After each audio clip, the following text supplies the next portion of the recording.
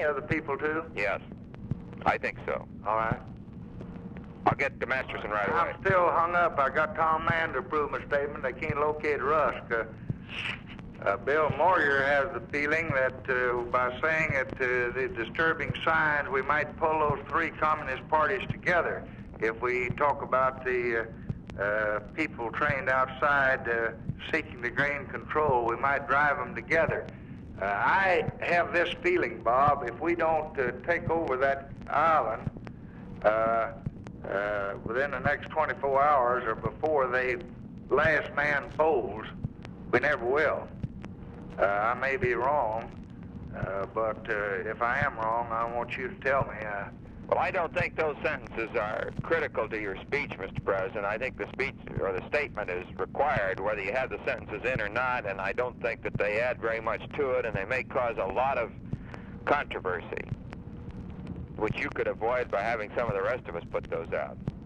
I've been going through all the press statements today, and there's running through it time after time, and from from San Juan and from uh, from various places in the in the hemisphere, a statement that the communists are associated with the rebels. So I don't think you have to be the source of that information.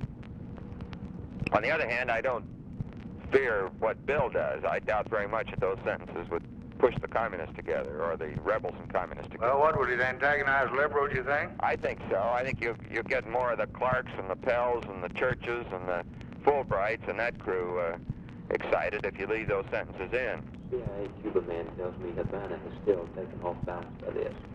If we give him... Talk 'em louder we can hear you. The CIA Cuban man, Mr. Secretary, tells me that Havana still seems to be off balance as a result of this and caught by surprise As a result of what? as a result of the, re- of the rebellion and the communist ascendancy in that rebellion.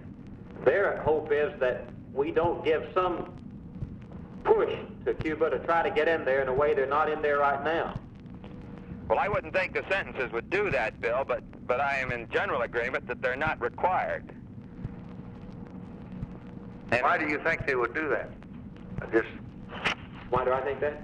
Because it would make them think, it would raise their prestige in their states. there, Cuba. the Cuban states, because it makes us, us say publicly that we believe that communism in Cuba is behind this, although we don't say that explicitly. And so their stakes immediately are raised in the world market, because if they are defeated now, uh, after this statement, then they've suffered a, a political blow. If we don't isolate them and spotlight them, then and we get out of this thing, they have lost anything.